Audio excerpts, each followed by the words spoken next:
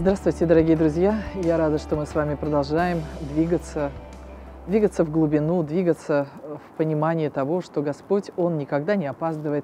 Если мы закончили один псалом, то у нас есть второй, и в данном случае это 22-й псалом, который достаточно известен и взрослым, и детям, потому что он один из, если так можно сказать, популярных с учетом того, что его легко заучивать, инсценировать. И поэтому многие дети даже берут для своих э, перемещений, что ли, в пространстве вот этот текст Писания и его заучивают. Поэтому я хочу вместе с вами сейчас тоже его начать. Распечатать 22-й Псалом. Я думаю, что на сегодняшний день, когда мы говорим, что это 22-й год, то пусть для нас этот Псалом будет очень э, ярко проявлен в практике жизни. Дело в том, что мы каждый день нуждаемся в том, чтобы Господь был нашим пастырем. И то, что мы с вами прочитываем в самом начале этого псалма «Господь пастырь мой, я ни в чем не буду нуждаться». Посмотрите, насколько здесь есть взаимосвязь. Если Господь пастырь, я не буду ни в чем нуждаться. И поэтому на сегодняшний день очень важно проверить, кто твой пастырь.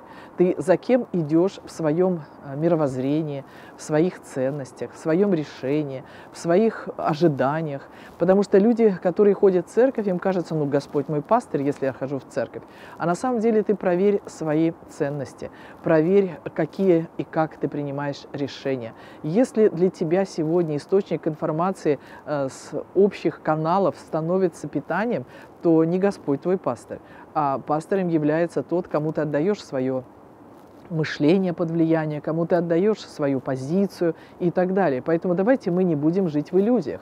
Нам надо совершенно четко понимать, кто руководит моим внутренним миром, кому я отдаю это пространство, откуда я беру информацию для того, чтобы мне делать какие-то выводы, принимать решения.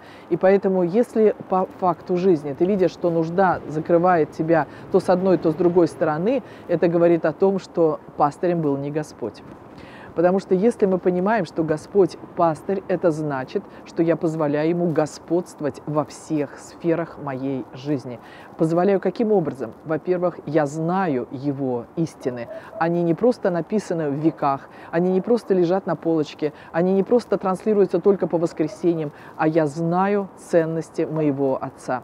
Я знаю, что Он транслирует в этом мире, и поэтому я хочу вместе с Ним идти по жизни с Его ценностями. Поэтому пасторство – это направление, это лидерство. И если в моей жизни лидером стал Господь, не только номинально, но и по факту моей жизни, то тогда я могу сказать, я ни в чем не буду нуждаться. я хочу пригласить вас сейчас в эту позицию.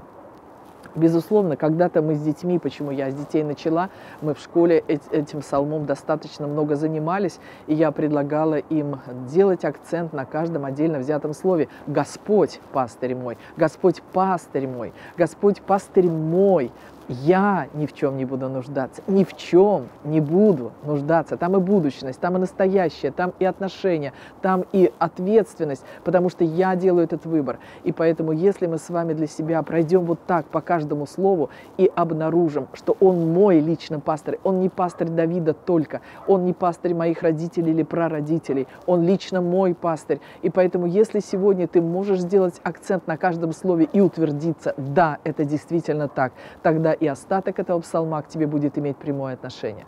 Если же нет, если вот прямо ошибка уже на, этом, на этой первой строчке, на первом стихе, то тогда и последующие там уже будут э, не те результаты, на которые мы рассчитываем.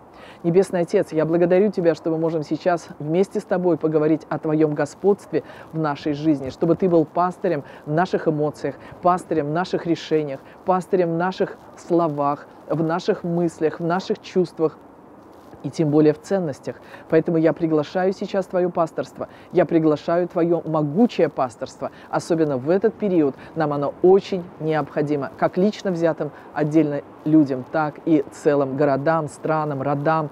И я благодарю Тебя, что мы сейчас принимаем Твое господство и говорим, будь пастырем нашим. Веди нас туда, где уже покрыты все нужды. Веди туда, где накрыты столы. Веди туда, где полнота защиты. И я благодарю Тебя, что могу призвать Тебя и Твое могущество на себя и своих детей, но также и на тех людей, с кем мы вместе соглашаемся в этой молитве. Во имя Иисуса Христа. Аминь. Всего доброго, до новых встреч. До свидания.